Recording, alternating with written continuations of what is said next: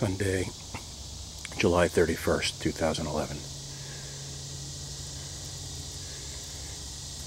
Water by the cistern flowing.